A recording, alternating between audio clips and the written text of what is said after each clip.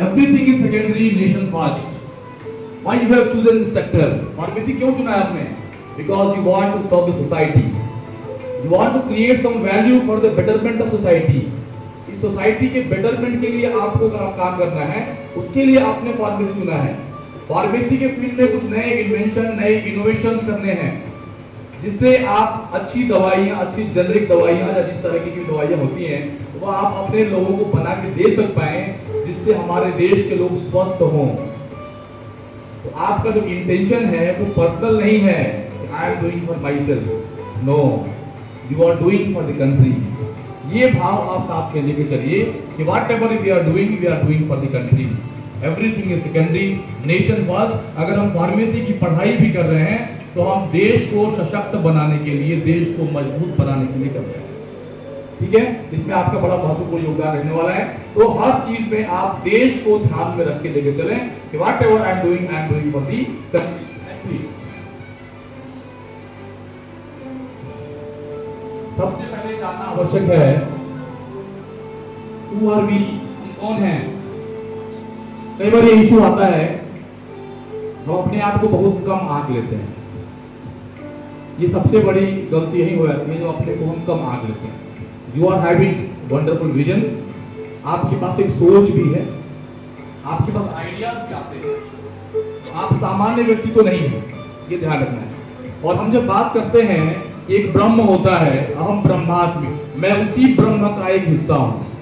आपको ये मान के चलना है कि आप भी उसी ब्रह्म के एक हिस्से हैं। जो कैरेक्टरिस्टिक्स उस ब्रह्म में है, उसमें से कुछ एक कैरेक्टरिस्ट आपके अंदर भी है। उन्हीं आप बने हैं। तो आप सामान्य तो नहीं है, ये मान के चलना है। You are not normal human being you are Brahma ये मान के चलना है। If any idea is coming any wonderful idea is coming ये भी नहीं सोचना है कि this idea is workable or not if the idea is coming to your mind, that means it is workable idea ऐसी कोई चीज़ आपके ब्रेन में आ ही नहीं सकती है, जो इस ब्रह्मांड में हो सकना संभव हो।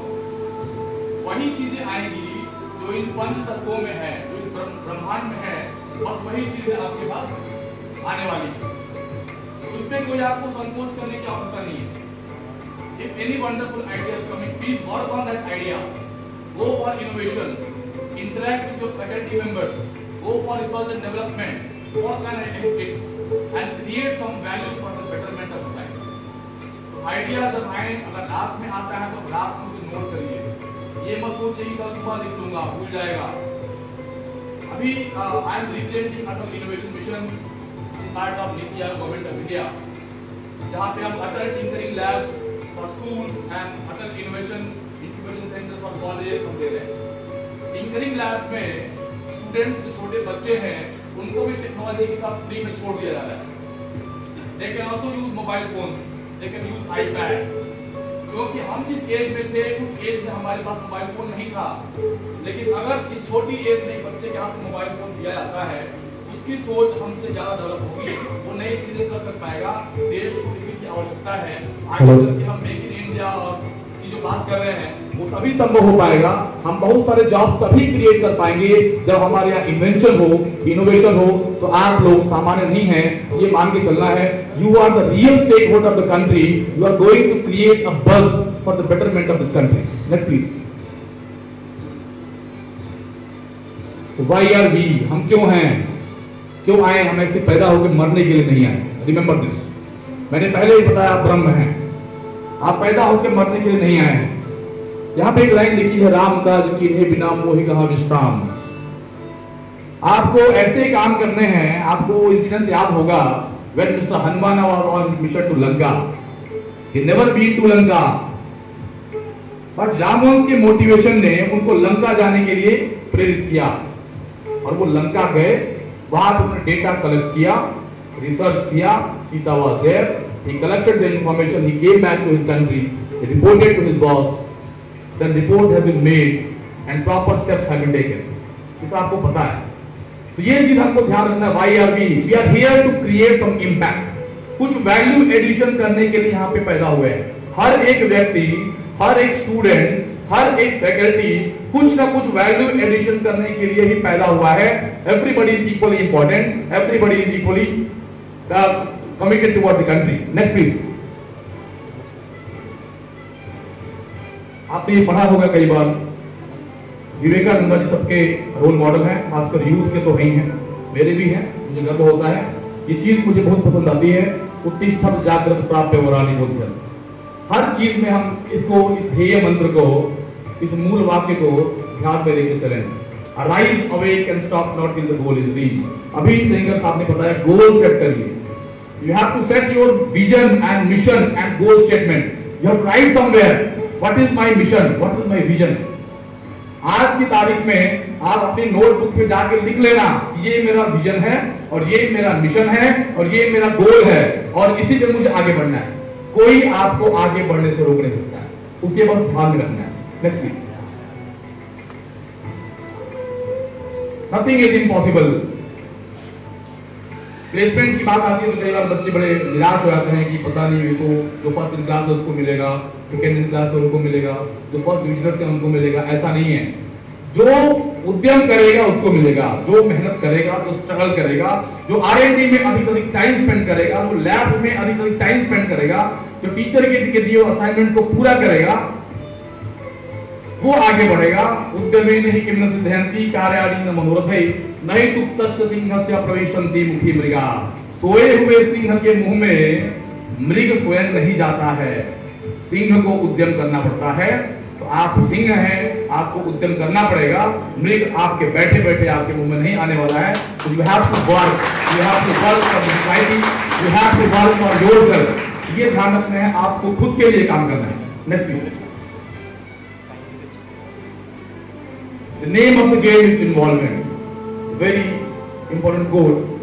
You have to get involvement in your studies, in your research, in your assignments, in your projects, in your internships. जो भी चीज़ें हैं उसमें आपको खाली कोटा पूर्ति नहीं करना है। इंटर्नशिप करने गए वहाँ से लेटर लेके आ गए काम तो किया ही नहीं। नहीं आप काम अपने लिए कर रहे हैं। आपको उसमें इन्वॉल्व होना पड़ेगा क्योंकि फ़ायदा आपका है। आपके फ़ायदे से समाज का फ़ायदा है देश का फ़ायदा है।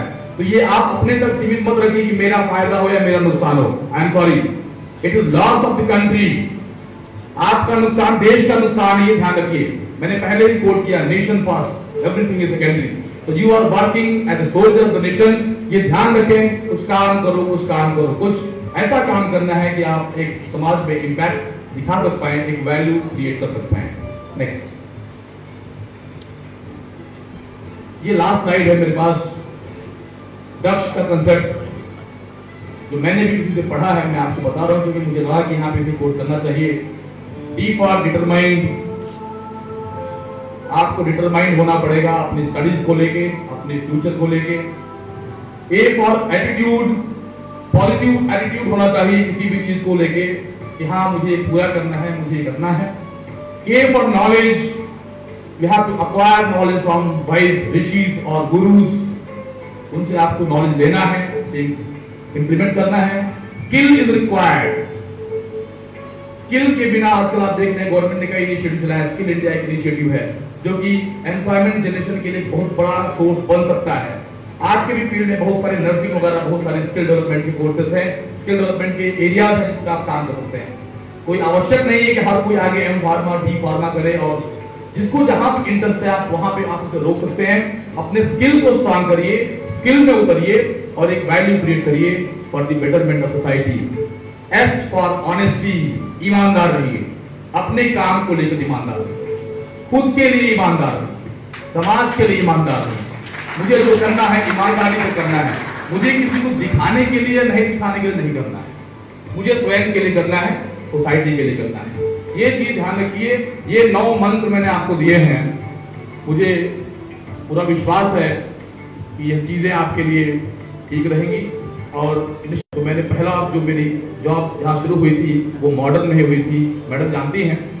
I work here for ten ten month then I move to Prestige and then regarding government project and you working on that to create to impact on flight तो ऐसे हमको करना है। I am not from Indore I am outsider from some other state but I work for the betterment of the स्वच्छता and brand ambassador for Indore तो हमें समाज के लिए काम करना है इम्पैक्ट पड़ेगा, असर दिखेगा बट हमें एक बार लगना है। तो आपको आपके शरीर में ऐसे ईमानदारी से लगना है, पूरी मेहनत से लगना है, और मॉडर्न का झंडा आपको लेके आगे चलना है। तो बताना कि yes they have sufficient resources बहुत अच्छा है। Also having two companies modern lab and Nandini lab तो आपको बहुत सारे बेनिफिट मिलने वाले हैं। इज़ द बेस्ट प्लेस तो आप इसको ठीक से एनकैश करिए। और अपने फ्यूचर को आगे बढ़ाइए। मेरी शुभकामनाएँ आपके साथ हैं। नमस्ते। Vande Mataram. Thank you so much sir for enlightening us with your night words of wisdom thank you